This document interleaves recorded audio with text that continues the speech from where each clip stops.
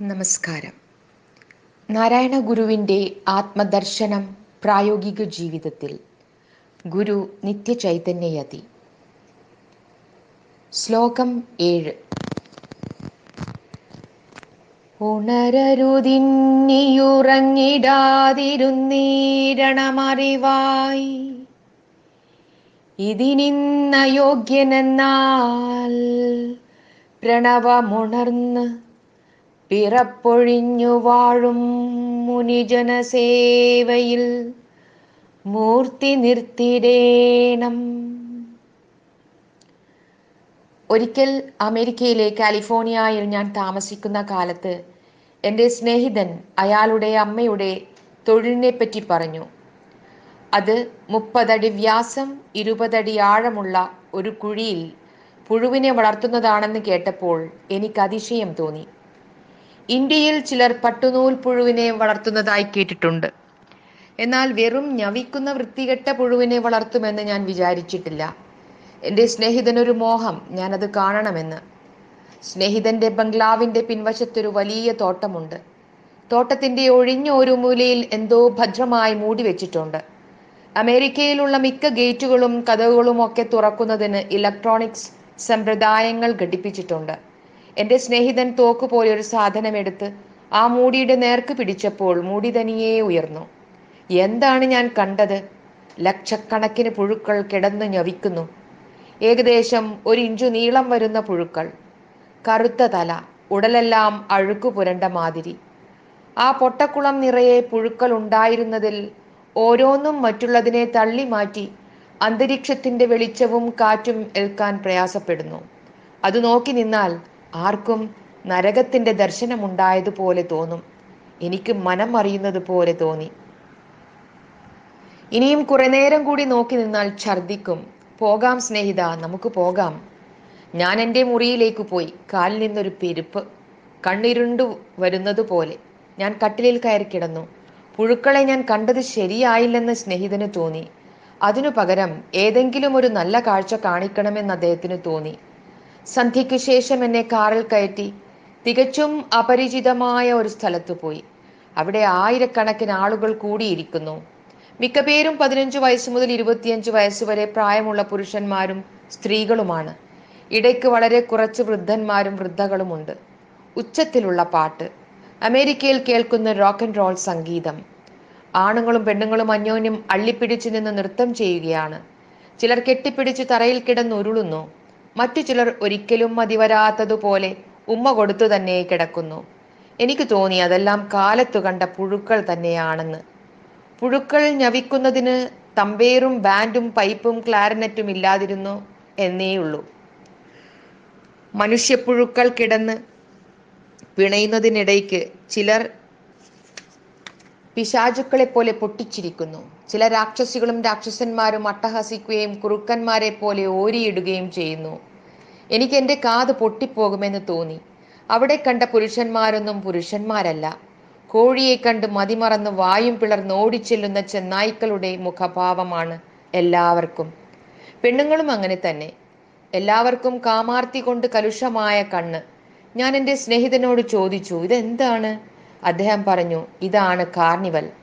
ഈ നാട്ടുകാർക്ക് വർഷത്തിലൊരിക്കൽ സന്തോഷിക്കുവാനുള്ള ദിവസം. ഇന്ന് ആർക്കും എന്തു വേണമെങ്കിലും പറയാം എന്തു വേണമെങ്കിലും ചെയ്യാം. പണ്ട് നമ്മുടെ നാട്ടിൽ കൊടുങ്ങല്ലൂരും ചേർത്തലയിലും ദേവീക്ഷേത്രങ്ങളിൽ പൂരപ്പാട്ട് നടക്കുമെന്ന് കേട്ടിട്ടുണ്ട്. ഇതൊരുമാതിരി പൂരം തന്നെ. പുഴുക്കളെ കണ്ടു നിന്നതിനേക്കാൾ മനസ്സ് ചീത്തയായെന്ന് തോന്നുന്നു. ഞാൻ ആ സ്ഥലം വിട്ട് കാറിൽ കയറിയിരുന്നു. എന്റെ അന്ധകരണത്തോട് പല പ്രാവശ്യം പറഞ്ഞു ഉണരരുതിനി ഉണരരുതിനി. മടങ്ങി സ്നേഹിതന്റെ വീട്ടിലെത്തിയപ്പോൾ വളരെ ഇരുട്ടി. എന്നാലും വെളിയിൽ നേരിയേ തണുപ്പേ ഉള്ളൂ. ഞാൻ മട്ടുപ്പാവിൽ പോയി വളരെ സുഖമായിരിക്കാവുന്ന ഒരു ഇരിപ്പിടത്തിൽ സ്വസ്ഥമായിരുന്നു കൊണ്ട് ആകാശത്തേക്ക് നോക്കി. ആകാശത്തിന്റെ നീലിമ പോയി കറുപ്പായിരിക്കുന്നു. അതിൽ മിന്നാമിനിങ്ങിനെ പോലെ തിളങ്ങുന്ന നക്ഷത്രങ്ങൾ. നിശ്ചേഷ്ടമായി പ്രകാശിക്കുന്ന ഒരു തേജോ ബിന്ദു ഏതെങ്കിലും ഗ്രഹമായിരിക്കുമെന്ന് ഞാൻ തീരുമാനിച്ചു. ആകാശത്തിനാണോ അനന്തത? അതോ അന്ധകരണത്തിനോ? ഞാൻ ഉള്ളിലേക്ക് തിരിഞ്ഞു. ബെട്രൺ റസൽ രണ്ടു മാതിരി അനന്തതയെ പറ്റി പറയാറുണ്ട്. ഒന്ന് മൂന്ന് അഞ്ച് എന്നീ ഒറ്റ അക്കങ്ങൾ കൂട്ടിക്കൂട്ടി ചെന്നാൽ കിട്ടുന്ന അനന്തത. വേറെയൊന്ന് രണ്ട് നാല് ആറ് എന്നിങ്ങനെയുള്ള ഇരട്ട അക്കങ്ങൾ കൂട്ടിച്ചെന്നാലുള്ള അനന്തത. അതുപോലെ മഹാകാശത്തിന്റെ അനന്തതയും അന്തരാത്മാവിലുള്ള ദഹരാകാശത്തിന്റെ അനന്തതയും.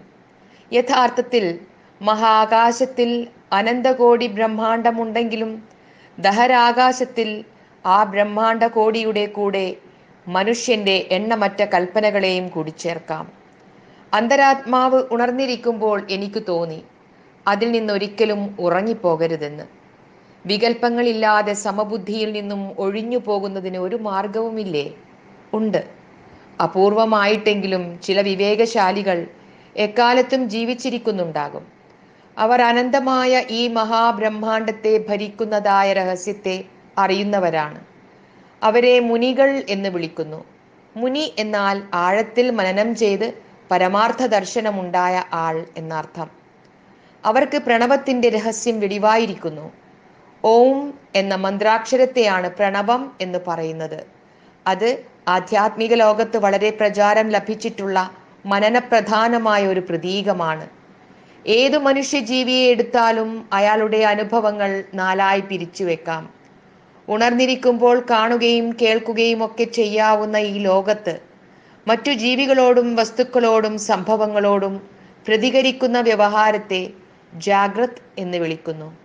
അവിടെ എന്തെല്ലാം അനുഭവങ്ങൾ ഉണ്ടായാലും അതെല്ലാം പ്രകൃതിയിൽ ഒരു വിത്ത് മുളച്ച് ചെടിയായോ മരമായോ വളർന്ന് പൂത്തു കായ്ക്കുന്നത് പോലെ അനിഷേധ്യമായ നിയമങ്ങൾ അനുസരിച്ച് എന്നും സംഭവിച്ചു കൊണ്ടിരിക്കും. എന്നറിയുന്നത് സ്ഥൂല ജാഗ്രത്തിനെ സംബന്ധിക്കുന്ന രഹസ്യമാണ്. അതറിഞ്ഞാൽ ഓം എന്ന മന്ത്രത്തിലെ അകാരത്തിന്റെ രഹസ്യം അറിഞ്ഞു കഴിഞ്ഞു. ഉണർന്നിരിക്കുമ്പോൾ കാണുകയും കേൾക്കുകയും ചെയ്യുകയും ചെയ്യുന്നതെല്ലാം മനസ്സിന്റെ സങ്കല്പത്താൽ പോഷിപ്പിക്കപ്പെടുന്നതാകയാൽ ഉണർന്നിരിക്കുന്ന സമയത്തും അതിലൊരു വലിയ അളവിൽ സ്വപ്നം നടന്നുകൊണ്ടിരിക്കുന്നു എന്ന് പറയാം. പഞ്ചേന്ദ്രിയങ്ങൾ മൂടി ഉറങ്ങിക്കിടക്കുമ്പോഴും സ്വപ്നം വരുന്നുണ്ട്. സ്വപ്നം ഉണ്ടാകുന്നതിന് വെടിയിൽ നിന്നുള്ള കാഴ്ചയോ കേൾവിയോ ഒന്നും ആവശ്യമില്ല. നമ്മുടെ ഉള്ളിൽ മറഞ്ഞു കിടക്കുന്ന ഓർമ്മകൾക്ക് കണക്കില്ല. ആ ഓർമ്മകളെയെല്ലാം തമ്മിൽ ഇണക്കി പെരുപ്പിച്ചും സങ്കരിതമാക്കിയും ആലങ്കാരികമാക്കിയും തീരെ ഇല്ലാത്തതായ പല ലോകങ്ങളും ഉള്ളതുപോലെ കാണിക്കുവാൻ മനസ്സിലെ തേജോമയമായ ഒരു ശക്തിക്ക് കഴിയുന്നുണ്ട്. അതിൽ സന്തോഷിക്കുകയോ ദുഃഖിക്കുകയോ വേണ്ട എന്ന് അറിയുവാൻ കഴിയുന്നുവെങ്കിൽ ഈ സ്വപ്നത്തെ സംബന്ധിക്കുന്ന രഹസ്യം മനസ്സിലായി കഴിഞ്ഞു. അതറിഞ്ഞവൻ ഓങ്കാരത്തിലെ ഉ എന്ന ശബ്ദത്തിന്റെ അതായത് ഉകാരത്തിന്റെ രഹസ്യം അറിഞ്ഞു കഴിഞ്ഞു.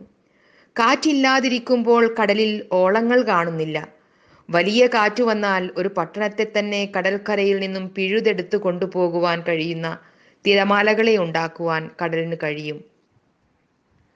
സ്വപ്നത്തിലും ജാഗ്രത്തിലും ഒരുവൻ അനുഭവമായി തീരുന്ന എല്ലാം സുഷുപ്തിയിൽ വാസനയായി മറഞ്ഞു കിടക്കുന്നുണ്ട്. ജാഗ്രത്തും സ്വപ്നവും കഴിഞ്ഞാൽ ശരീരത്തിനും മനസ്സിനും വീണ്ടും ഊർജസ്വലത വരുന്നതിനു വേണ്ടി പ്രകൃതി നിശ്ചയിച്ചിട്ടുള്ളതാണ് സുഷുപ്തി അത് നിയതമായ ഒരു കണക്കിന് വന്നുകൊണ്ടു തന്നെയിരിക്കും. അതിൽ മാറ്റമുണ്ടാക്കുവാൻ ആർക്കും കഴിയുകയില്ല. സുഷുപ്തിയിൽ ബോധത്തിലുള്ള എല്ലാ വൃത്തികളും അടങ്ങിയിരിക്കുകയാൽ ഒന്നിനെയും തിരിച്ചറിയുവാൻ കഴിയാത്ത ആ ബോധം സുഖദുഃഖങ്ങൾ ഒഴിഞ്ഞിരിക്കുന്നതാണ്. ആ അവസരത്തിൽ ബോധം അബോധം എന്നുള്ള വ്യത്യാസങ്ങളില്ലാതെ ഈ അവസ്ഥയെ വേണ്ടും വണ്ണം അറിഞ്ഞിരിക്കുന്ന മുനിക്ക് സുഷുപ്തിയുടെ രഹസ്യം മനസ്സിലായതുകൊണ്ട് മകാരം മ എന്ന അക്ഷരം വെളിവായിരിക്കുന്നു എന്ന് പറയാം. ഈ മൂന്നവസ്ഥകളും പ്രകൃതിയുടെ നിയതമായ ശക്തിയാൽ എല്ലാ ജീവജാലങ്ങളിലും പ്രത്യേകിച്ച് മനുഷ്യരിൽ ഒരു ക്രമമനുസരിച്ച് വന്നു പോയിക്കൊണ്ടിരിക്കുന്നു. അകാര ഉകാര മകാരങ്ങൾക്കപ്പുറത്ത് ഒരിക്കലും മാറ്റമില്ലാതെ നിൽക്കുന്ന മൗനഘനമായ പരമാർത്ഥമിരിക്കുന്നു. അതറിഞ്ഞ് അതിൽ തന്നെ ഉറച്ച മനസ്സോടു കൂടിയിരിക്കുന്നവൻ പ്രണവസ്വരൂപം അറിഞ്ഞ മുനിയാണ്. അങ്ങനെയുള്ള മുനിയോട് ബന്ധപ്പെട്ട് പാരസ്പര്യം ഉണ്ടാക്കി സേവനം ചെയ്താൽ വികൽപ്പങ്ങളില്ലാത്ത ജീവിതം ഉണ്ടാക്കുവാൻ കഴിയും. ഉണരരുതിന്നിയുറങ്ങിടാതിരുന്നീരണമറിവായി ഇതിനിന്ന യോഗ്യനെന്നാൽ പ്രണവമുണർന്ന് പിറപ്പൊഴിഞ്ഞു വാഴും മുനിജനസേവയിൽ മൂർത്തി നിർത്തിടേണം. നമസ്കാരം